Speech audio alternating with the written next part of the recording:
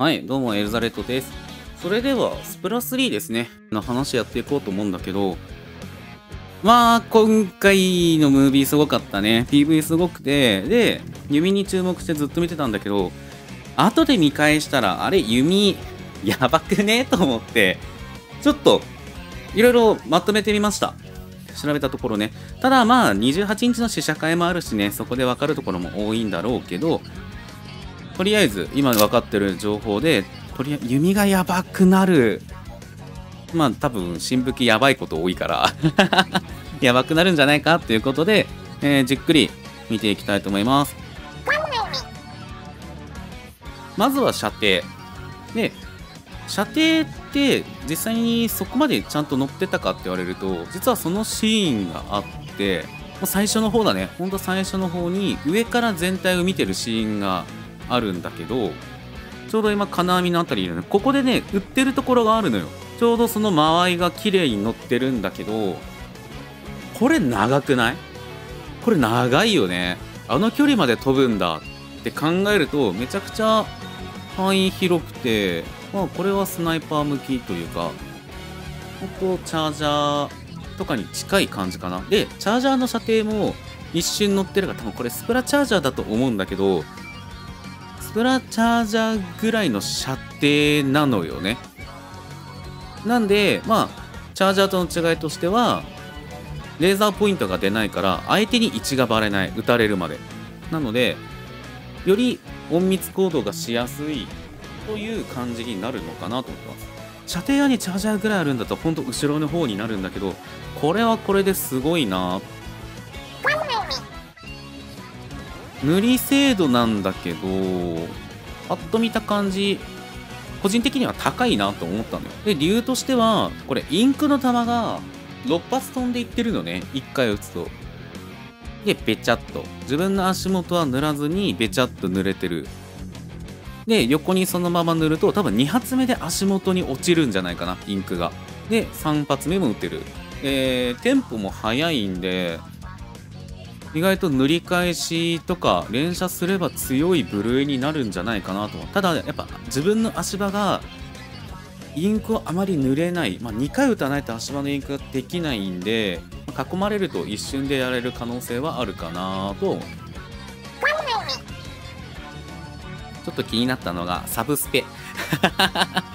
サブスペがねいや悪くないのよ。悪くないのよ。ただそのサブがまずポイズンミストなのよ。それがちょっと個人的にどうなのかなと思ってて、まあ、このシーンに右上に載ってるんだけどポイズンミストって投げた射程と弓の飛距離考えると圧倒的に多分指の方っていうか手前に落ちるのよね。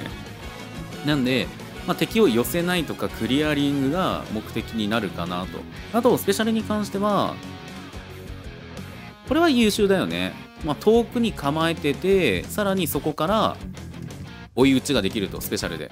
だから距離を詰めなくてもいいっていうのはバランスとしてはめちゃくちゃいいんじゃないかと。でこのスペシャルもさ多分自分で動かしないこれ敵がさ右側の方いるのか分かんないけど横に投げ払うんだよね。でもムービーのシーンによってはその場に維持してたりとかバラバラなんで、まあ、自動追尾型なのかそれで敵の方向を予測できればそっち側見れば敵がいる可能性もあるから弓として隠密行動ができるっていうつながりもできるんでまあスペシャルは相性がいいんじゃないかなと思います。で続いて着弾。着弾のねシーンが2種類動画あったんでそこ見ていきたいなと。でまず1つ。撃たれたが時、えーフルチャした時のシーンなんだけどこれすごいなと思ったのが基本的に地面にぶっ刺さるじゃん。でイカロールで避けてるんだけどこれ当たり判定あると思うんだよね。で貫通してるのかなと。予測してるの。で着弾してかつそこにまあ1秒間ぐらい残1秒か2秒ぐらいかな？1秒かな？1秒残ってこれが爆発するんだけどこの爆発した時ってボムと同じような爆発の仕方に見えるんだよね。中に白い空気みたいなのも出てるしもしかしたらプラス爆風ダメージみたいなのが発生しててこれはこれですごく面白そう。しかも相手がそこから顔出せなくなるからね。相手が顔を出せなくても壁の裏いたとしてもあのジェッパとかの使い方爆風ダメージを当てる。っていうところだから、まあ、そこもすごく楽しいんじゃないかな。あ壁裏いるあいつと思って狙えないと思ってもガンガンガンガン押すみたいな。っていうのができていいんじゃないかなと思う。でもう一つこの刺さるっていうのがあの今までのムービーだと地面に刺さるだけのシーンが多かったんだよね。で今回その新しく刺さる場所っていうのが出てきててこのシーンスペシャルを使った後になるんだけどここでフルチャしてるのよ。フルチャージしてポンと打った瞬間なぜかこの時壁に打ってんのよね。そうするとまず壁に刺さった瞬壁に刺さるのよ。もう高さ関係なく。であの壁多分塗れないのよね。で塗ったところ当たった瞬間インクが落ちてるんだけど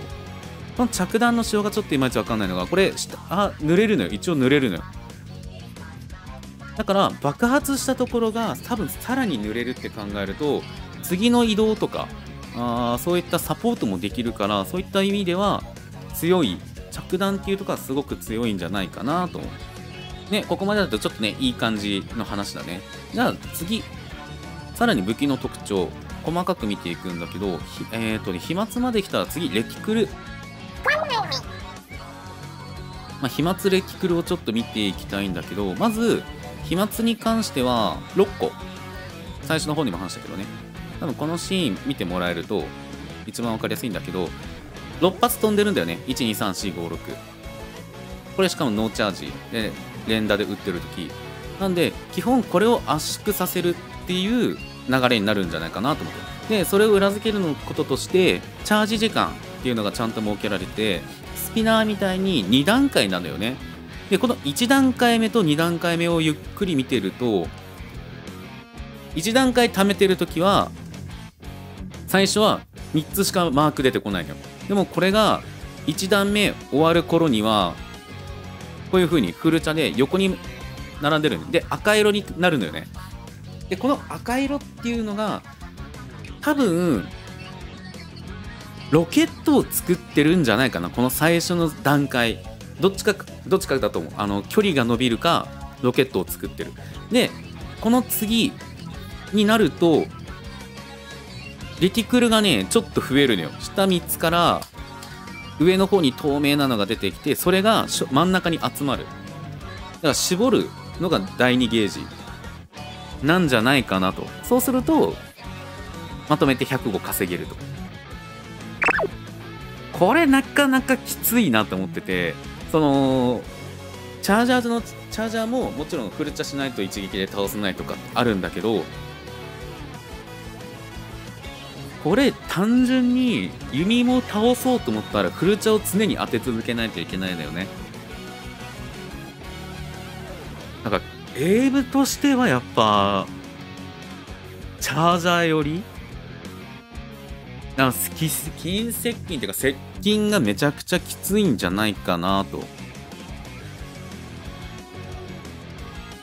思うのよね。なここら辺がねあ上手い人になればなるほど詰めるのうまいじゃん。だそこがきつくなるんじゃないかなと心配はしてる。でレティクル見た時にちょっとハッとしたのが次なんだけどあのダメージ量。ダメージ量がちょっと気になっててこの瞬間ポンって当てたら前段ヒットで105ダメージなのよ。105ということはこれが単純に6発でしょ？17.5なのなので近接近された時に17.5ってことは、えー、6発当てないと死なないので 接近戦がもう絶望的なのよね。チャージャーみたいに半チャでいきなりダメージ跳ね上げさせるとかあのいろいろできるかもしれないんだけどそれにチャージャーフルチャしてバンっていう当てれるエイムがあればね問題なかったりするんだろうけど多分スクイクでガンガン当てれる近接,、まあ、接近戦も当てれるっていうぐらいのエイムじゃないとまあ、最初使うのはめちゃくちゃ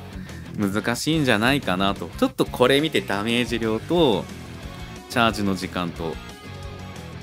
そこは厳しいなと思った。なスクイックの練習してたけどスクイックの練習って意外と理にかなってるところもあるね。いやここがねどうしようって。使いたいんやけどちょっとなここが離れる問題になるんじゃないかなと。いうとこだね。しかもこれがさ105じゃなくて例えば130とかだったらまだ良かったのよ。130140とかね。例えば仮に140で6発割ると23ぐらい。で、えー、まあ4回打てば93まあ4角も無理。5角も無理だから6角ってなるともうどうしようもないところなんでまあまたチャージャーとはね難しいな。チャージャーでも確か3発ぐらいだっけ？34発。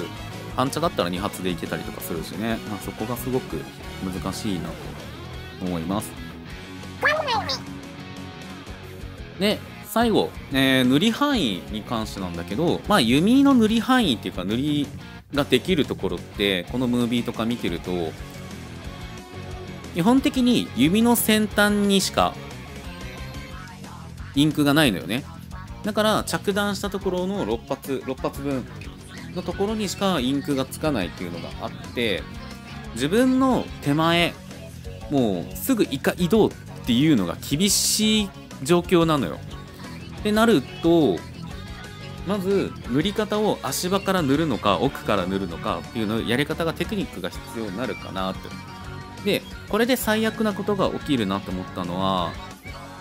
ムービーの最初の方を見てもらうと全体のシーンあるんだけど見事にね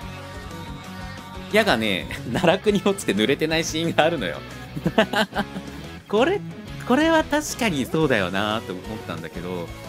あのスピナーとかは似てるところだよね。チャージャーだからチャージャーと比べるとチャージャーって打った車線に対して濡れるからそこは強いのよ。パシュンパシュンパシュンパシュンって言っても濡れるしチャフルチャで打とうが濡れるし。でシューターに関してはばらつきがある分下にも落ちるからまあ多少濡れるのよ。なんだけど弓って多分まっすぐ打つってなると絶対的に手前が濡れない。すぐ異界動ができないっていうところがあるからこの塗りがね実戦でどれだけきつくなるか、うん、あとは縦で弓打った時農茶で縦打った時にどうなるのか。まっすぐね壁とかに打ってるシーンしかなかったけどまっすぐ打ったら足場がどれくらい塗れるのかによっては、まあ、ぴょんぴょん戦法戦法ぴょんぴょん戦法かなが基本なのかあそういったところがすごく気になるところかなと。でこのシーン見た瞬間あの僕はちょっと弓を やばいなと思って、まあ、ダメージにしてもだし、まあ、チャージ時間が短いからまだいいんだけど、まあ、塗り、なかなか厳しいんじゃないかなと。まあ、期待も大きいからね、試写会ですごく気になるところなんだけど、まあ、今回はちょっと弓調べてみたらやばいんじゃねというところで、まあいろんな意味でね、いい方向もあるし、悪い方向もあるし、まあそれは武器の一長一短だから、いいんだけど、まあ、そこを考えずに使ってしまうと、まあ、すごく難しい武器なんじゃないかなというところです。ね、ストリンガーね。で、今後気になったのが、そのワイパーも2種類出てるじゃん。重量級と軽量級みたいな感じで。もしかしたら、弓も同じような感じで出てくるんじゃないかなと。もう1、2本。まあ、一撃、ほんとキルに特化したやつと、まあ、楽なやつ、まあ、ブラスターで言うとクラブラみたいな感じで、連射が高い、塗りが、塗り性能が高いっていうのが出てきてくれるんじゃないかなと、むしろ出てきてくれと。いうとこなんで、まあそこら辺をね、まあ、やっていきたいと思います。はい。ということで、今回はここまでです。で、また動画見たりとかしてるんで、まあ何か見つかれば、また随時3に関してはやっていこうかなと思いますので、皆さんもよかったら、いいねとチャンネル登録よろしくお願いします。それではまた次回お会いしましょう。バイバーイ。